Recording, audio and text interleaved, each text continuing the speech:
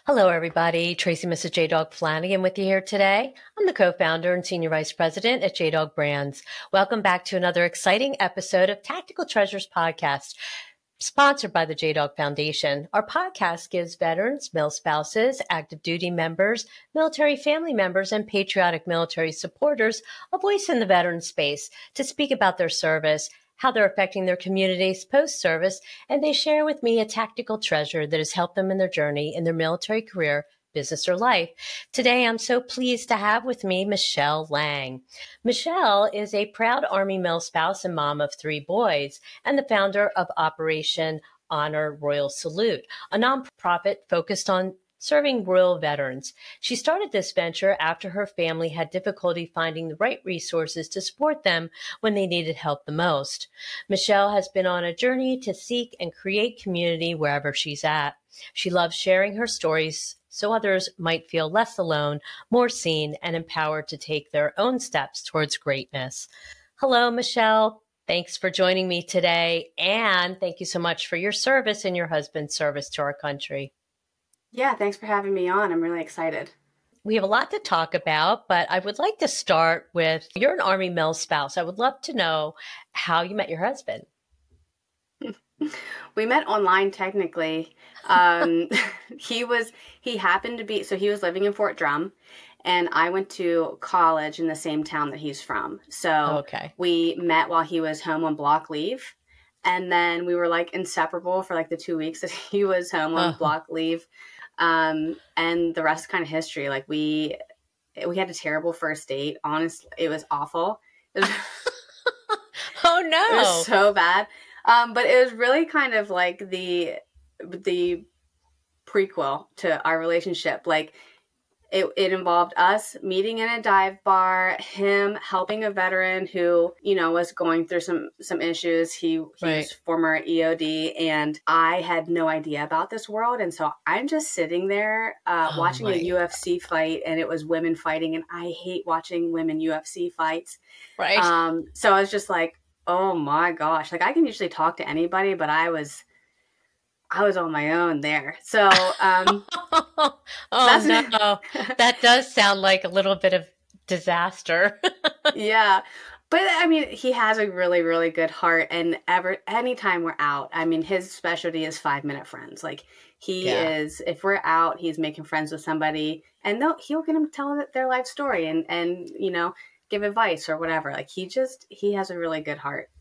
Yeah. So you so you met him while he was in the military had no idea what this was all about. Um, so what was military life like for you when you guys finally got married?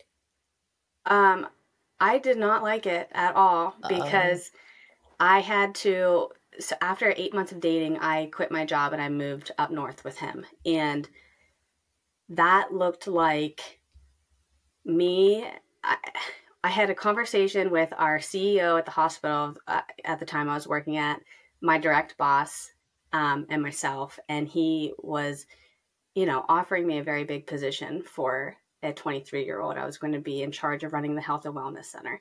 Oh, um, oh wow! And I was like, oh my gosh, this is so exciting, and I knew I had to tell him. So I walked out of that meeting he went into his office. I stood outside his office. I took a couple of deep breaths and I said, Jason, I've got to talk to you. And he was like, Oh no. I said, I'm moving in with my my boyfriend uh, to Fort Drum. I'm not going to be here in a year. And he's like, well, you know, thank you for telling me. But after that, when I moved up there, I couldn't get meaningful employment. So I went right. from, you know, a, a pretty nice position for a young 23 year old to having to work at Zales, which is not my jam. Uh, right. Retail, that's not that's not my thing. Um, and it was just a struggle. So I, I, my our beginning of our relationship was just like getting past resentfulness, really. Mm-hmm. Mm. Yeah, yeah. Well, that that's that's difficult, and I've and uh, you know, our mill spouses you included, uh, you guys give up so much. You really do. You sacrifice, uh, you know, for your service member to be there to support them and encourage them. And a lot of times that means giving up great jobs, career paths, everything. So I, uh, I'm wondering, when did you kind of settle in and decide, okay, you know, I'm okay with this. I'm, I've accepted this life, you know, our, the marriage is good, your relationship is good, life is, you know, okay. Probably Oops. recently, to be honest. oh um, gosh. Um, no, but it it took a lot for me because I never envisioned number one, I never envisioned having kids. Um, and I met him and I'm like, oh my gosh, I want to have I want to have kids with you. He's such a great yeah, I knew he was gonna be a great dad. So then I was, you know, working a job that was not fulfilling, um, while feeling like I'm a totally inadequate mom. Is struggle to find childcare. So you're you're constantly struggling in that. So mm Right. That was me having a lot of conversations with my sisters, with other people. I was like, how do I be okay with this thing of just being a mom? And that I'm, I'm not I'm not diminishing that. I, I, have a very different attitude towards that now, but that's not what I saw for myself. And I was wondering sure. how I be okay with that because I felt like I had a calling inside of me that was to give more to the world than, um, you know, just this one aspect of my life. Right. And so um, I settled into that and I really put my focus on what that looks like being that type of mom um, working at a job how do i how do i do that that's not fulfilling um, and it was just a means to an end so really what i learned is is happiness is what you make of it um, right true and it's just it's part of the journey and you just kind of have to walk that journey to figure out where you where you want to be like my husband and I always say like we we don't know what we want to be when we grow up. Like right. it is so we're in our he's late 30s, I'm early 30s and it's like there's a lot of life ahead of us.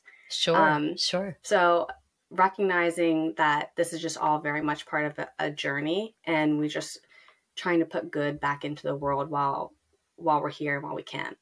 Right, right.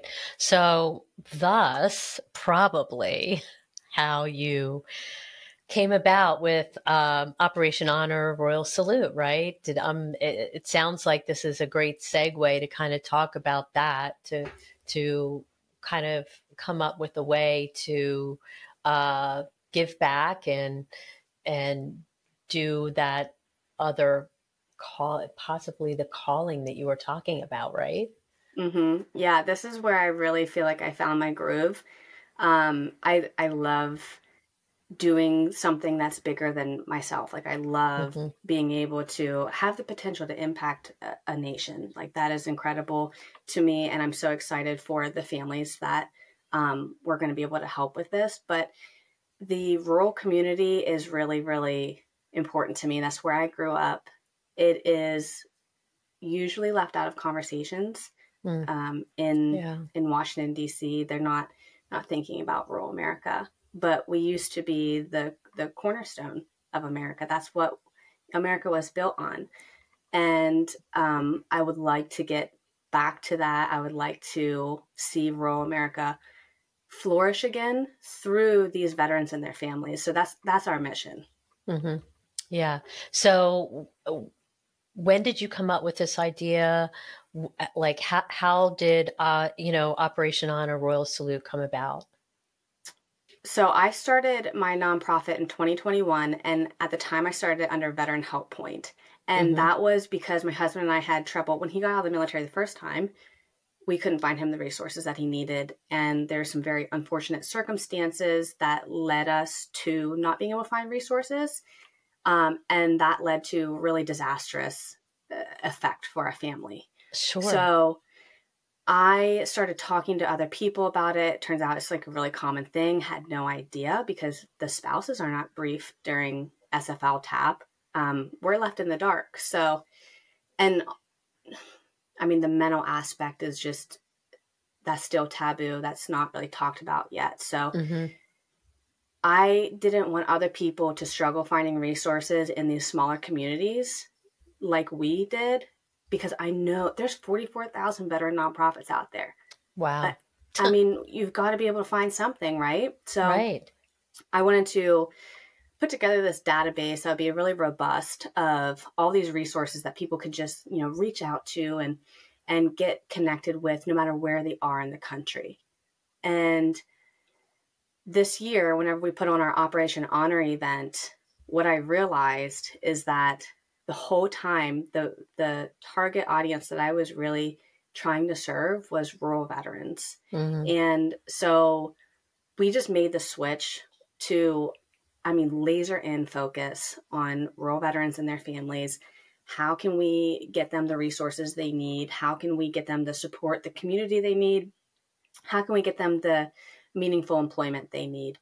Um, because what we found is if you present them the resources, they go after it and they take it. Right. So, right. I, I mean, they're not not willing to do the work. They just feel like people don't care. Right, sure. So, so you say that. Um, so I know you have a website. So, um, so Operation Honor Rural Salute is a about a, a database with numerous resources, but you have events too, right? Um, can mm-hmm. you talk to me a little bit about, um, you know, if if if I'm a my like just me, for instance, if my husband and I are in rural America and he's serving and I'm at home and, you know, or he is getting out, how can he access your platform for resources and assistance? Yeah. So there's sort of four pillars to what we're trying to accomplish. Mm-hmm. So the first pillar is the virtual resources. So these are resources that can serve anybody, no matter where you live, um, with the objective being they definitely can serve rural America because they are solely virtual. Um, and with that, we have a smaller database of resources. So I call it like it's like our team of Avengers. Um, that, that's what okay. like, I'm a boy mom, so we have uh, right, our I team of, of Avenger, Avengers here that they're going to be able to serve you. We have, um, we're doing our database a little bit differently. So we actually have these resources create videos um, explaining who they are, how they serve rural veterans, and where the veteran can go to get served by them. So okay. there's already that rapport being built between the company and kind of humanizing the company a little bit. Okay. And then anybody can access that. Then there's the community portion. So that is the portion where you need to log in um, create an account, and there you can have a general forum um, and you can get dispersed into groups. So, if you're interested in veteran finance, if you're interested in real estate and VA loans, fitness, millennial veterans. So, we have these different categories. Homesteading is another category that are interests of rural veterans um, where they can talk to each other and they can talk to a subject matter expert right there. Okay. Um, wow. And then within there, there's an employment piece. So that's where we have a subject matter expert that will be talking about resume writing tips, translating t- from you know military to civilian. And then also we have a job board. So we have a company in there that is um, up and down the east coast and they'll have jobs posted you know ready to go. So you have access to an employer. And then the other side of that is how do we get more people meaningful employment in rural America. So we're kind of working on a pilot program for that right now. And then our fourth pillar is in person Operation Honor events. Okay. Oh, wow. So the in person Operation Honor events, are they, do they take place across the country or are they in one certain royal portion of the country? Uh, last year, our first one was in Pennsylvania, so we're doing okay. that again in Pennsylvania. Okay. I'm in North Carolina. I want to duplicate this in North Carolina. My long term goal is to have one of these events in every 50 states happening the same weekend across the country. That's my oh. long term goal. Wow. That's really, uh, I love it. That's Hello, really amazing. viewers and listeners. Are you a military veteran or military family member and looking to own your own business? If so, go to jdog.com and check out our two veteran focused franchises JDog Junk Removal and Hauling and JDog Carpet Cleaning and Floor Care. Our franchisees nationwide are always looking to hire fellow veterans and patriots. JDog is the world's largest military franchise system with hundreds of locations nationwide. We are nearly 90% veteran owned with the goal of reducing the veteran unemployment rate to under 1%. Check us out. Go to jdog.com to learn more. Now, back to the podcast. So, um, I imagine that um, all of this, the community events and um, access to the job boards and employment, it I, is that free for veterans? Everything's free. Okay. Yeah. Okay. Got got it. And so I, I guess you function on um, grants, donations, and what about? I'll just use our J Dogs for instance. They're always looking for veterans to work in their J Dog business. If I put Operation Honor Rural Salute out there as, hey guys, look, um, here's another way that you can possibly uh, get veterans to work in your JDog business, and and they wanted to post something on a job board or you know be an employer. How would they go about that? So is there uh, so obviously there's a cost for the company, right? Right now, no. The only the oh okay yeah we're we're working on a pilot program. So right now this is this is all free to everybody. I mean we we're okay. really um testing the limits of what we can do, we I know this is going to be beneficial for companies and for veterans. Oh, and oh, sure, yeah. When you have meaningful employment, your mental health is I mean, that's directly tied. So yeah. right now we're in the the beta stage. October 1st is technically when it launches for us. Okay. And then it. starting January, that's whenever we're like full scale. We're we're going after it and it's no longer invite only everybody is welcome okay. um so we're we're trying to work out the the kinks before then but it is it's really easy to see how everything flows into each other very well um, sure and sure. that is an opportunity because veterans i think somebody told me the other day after world war ii um, veterans actually had the highest number of patents in the United States because they're just natural entrepreneurs. They're natural yes. inventors. And so you know, I think I, I think I heard that as well. Um, there there was a, a, a big boom um, after World War II. I think you're right. Yeah, and so but yeah. there's not many entrepreneurial resources sure in rural America, but the, I mean technically there are. I'm using one right now. It's Victor Valak. Like you can be, you can use that anywhere. Um, right. There's Bunker Labs. There's the Rosie Network. There's so many things yeah. that veterans and military spouses can use in rural America to enhance the business they already have, empower them to start the business, mm-hmm. to um, give them that support to start, you know, a franchise. Like there's a lot that people can yeah. do. Yeah. Yeah.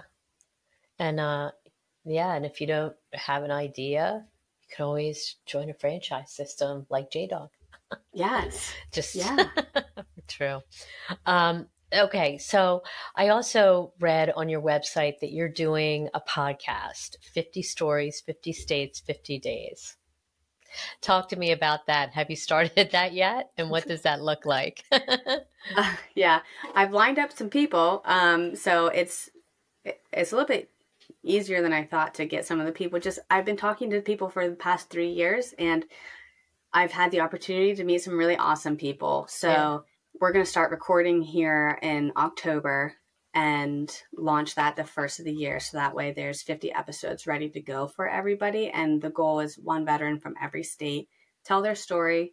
Um, what it's like living in rural America, why it's so special, and what some challenges are because a lot of people are not they're not either aware of right what goes on or even you know some people think like if you have a track i mean it is it is wild what some people think about rural, america but um you know just try to give a different perspective and maybe encourage some of these people that are living in rural america to you know start the thing they've wanted to start to reach out to other resources you know, and just mm-hmm. have a community.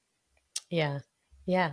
I love it. I think that's really amazing. So I'll I'll love to keep track of that podcast. That'll be really neat. Now we come to the point where I have to ask you, what is your tactical treasure, Michelle? What are you going to share with us today? You know, I was I was thinking about this since the the last time we spoke and and the thing that kept popping up in my head that has really guided me through my military spouse journey and this entrepreneurial journey is knowing the difference and knowing when to either lean in or lean on. So when I was younger, I was, you know, I was all about Sheryl Sandberg and we're leaning into conversations. You know, I went to my boss and I asked for raises and I got a raise and that was nice. But, um, you know, sometimes all you have to do is ask. Right. But there there's a time whenever you need to lean into problems and you need to you know put your head down and solve them but there's times whenever you need to learn to lean on other people or lean on resources and into your community and mm-hmm. um, be okay with that be okay with letting people help with getting guidance and support because our bodies need rest and i'm learning this right now like i, I got really really sick a couple weeks ago because I was working and worrying like crazy and I I did not take my own advice. I was leaning in way too much.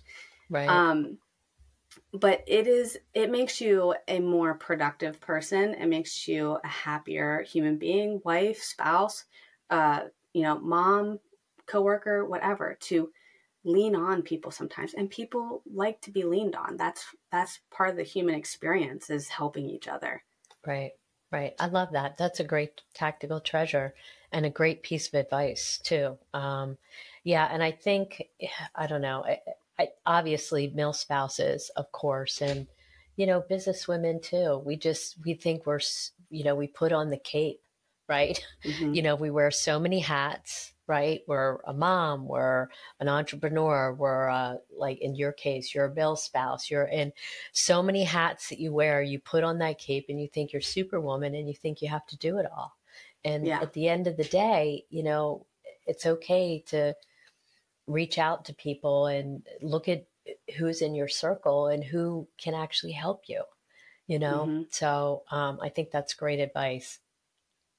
So, would you have like another pe- little nugget for you know I, I in your case i'm going to say fellow mil spouses that are maybe in this military life and and have struggled the way you have to kind of um, reconcile um, the sacrifices and the changes and to be okay with it. Um, you've shared a lot about your process and i i really appreciate you know your vulnerability because um, you never know who may be listening and, and may you know garner you know some um, nuggets from your story and inspiration from your story.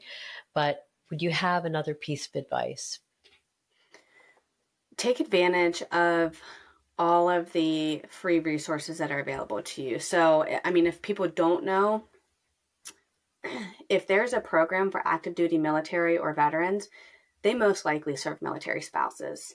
And it, it just might not be advertised as well because their their main market is is the veteran, right? So things like Act Now Education, um, Boots to Books, you can go and you can get free certificates um, through you know your CompTIA your your security plus certificates like this that big companies want to see you have and then you can go get a virtual job. And not only that but these companies like act now education boots to books they have virtual hiring fairs okay? So you can get your certificate you can go online and then you can get hired at a hiring fair. So it there are so many more opportunities now for people mm. to have meaningful i mean even if it doesn't mean a lot to you that paycheck means something to you and it, sure. it means something yeah. to a lot of people yeah. um, especially with groceries i'm telling you what three boys is killing me but oh i know yeah but there's there are a ton of free educational resources that uh, will add immense value to your portfolio accounting that's another one that this country is in desperate need of accountants and I had a conversation with somebody who is actually doing this. He's providing um, accounting education for military spouses to hire accountants because they're in it's, we're in rough shape. We need accountants. Right. Wow. Um, so there there are so many things, and if anybody needs help getting pointed in a direction, absolutely reach out to me. I will hook you up with the resources. I'll send you where you need to go because there is a ton of opportunity out there. Right. Yeah.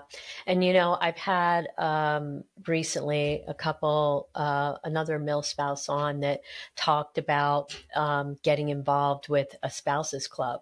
You know, most, um, if you're near a base, um, a lot of them have spouses club that are general spouses club, or some of them are you know, by enlisted or officer or whatever. But, you know, even if, you know, you, you, you know you're not interested in um, employment, but you know being able to be plugged in and and you know be involved in the community in that way, I think mm-hmm. uh, can be very beneficial. You know, just mm-hmm. for keeping you sane, mental health, helping you feel, you know, like you're doing something very purposeful and and stuff like that. So yeah, yeah, and don't be afraid to get outside of the military community either. Like, yeah. there's one of my favorite experiences was working at a gym um, up in Watertown where I got to, I, I started there working out and I liked it so much I went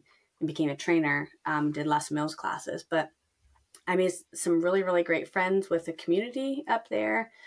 Um, down here, we have uh, I mean, we have phenomenal spouse organizations down here. If people are not interested in spouse clubs, because some people uh, they have that's not their excuse me, that's not their thing. Right. Um, yeah.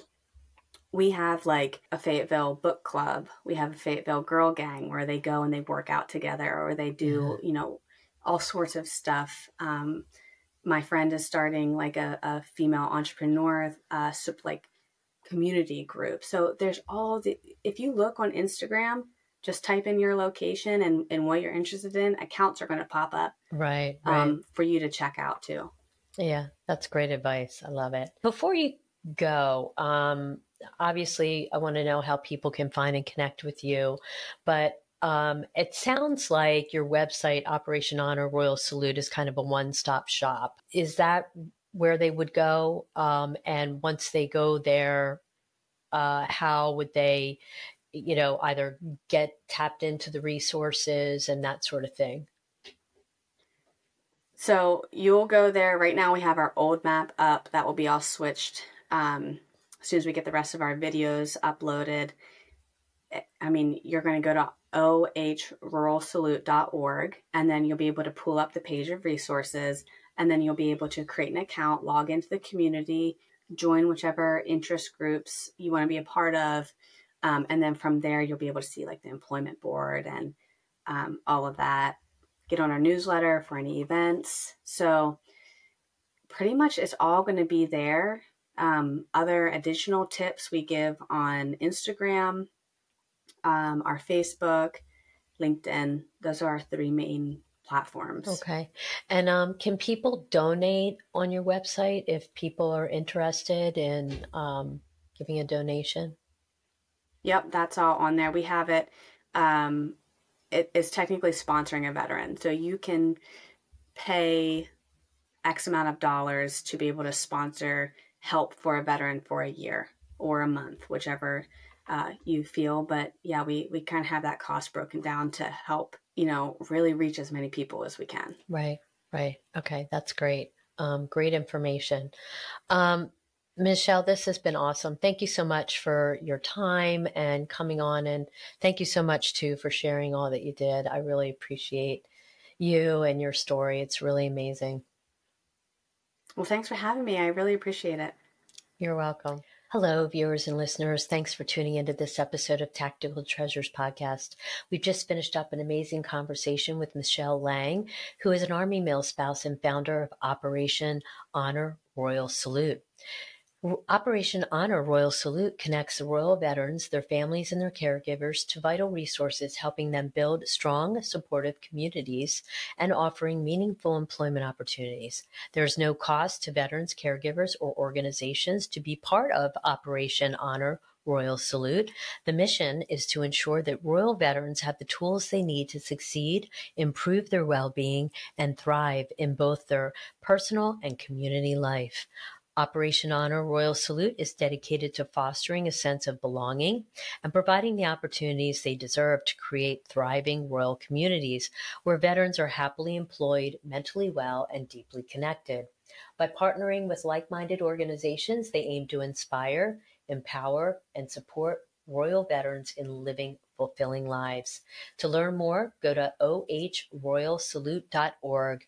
There you can donate you can also, if you're a veteran, sign up, create an account, and access the community and the employment job boards. Again, thank you for tuning in.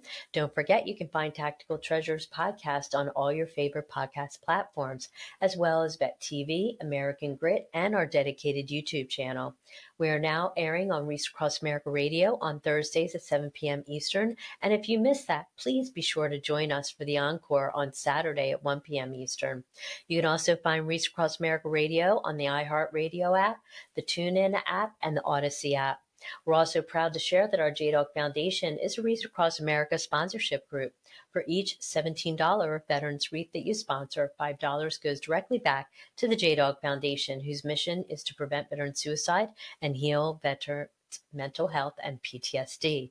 You can donate right now at wreathsacrossamerica.org slash JDOG. Again, thanks for joining us, and we'll see you again on another podcast real soon. Bye bye now.